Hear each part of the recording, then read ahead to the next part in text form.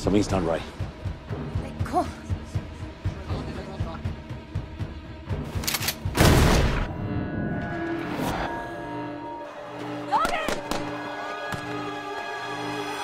Yeah, it's such an honor to make a movie of Japan in, you know, such a big uh, franchise movie, and you know, with such a great cast and the director, and it was really nice to show awesome, like you know, very nice of part of Japan, not only Tokyo but also the countryside. That's the whole uh, movie start from the countryside view, which we took.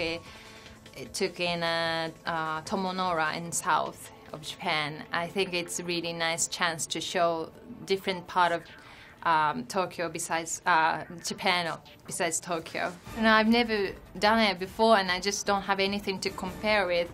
So I just I don't know. I just was asked to do this audition, and I got the role luckily, and I just did you know this five month uh, filming, and I just enjoyed. I had the most joyful five months ever in my life, and I it's really grateful. And I I didn't have to. I didn't have a time much to realize I was doing a big movie, which was kind of helpful for me because I would be like more frightened if I really realized that.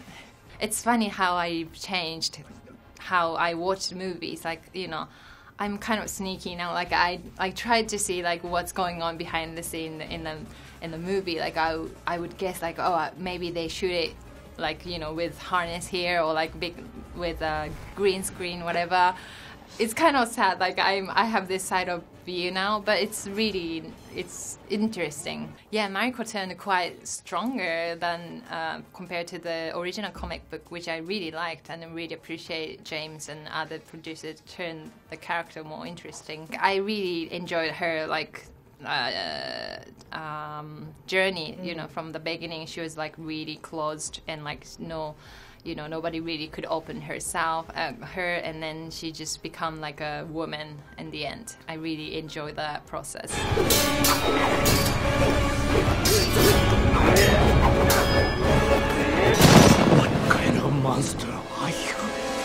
The Wolverine. Yeah, he was really funny. He has such a great uh, sense of humor. He Yeah. try. I mean, like he didn't. He wasn't even trying. He just make everybody laughing all the time on set. It was really, you know, he makes the whole like easy atmosphere all the time, and I really appreciate he was like that kind of person.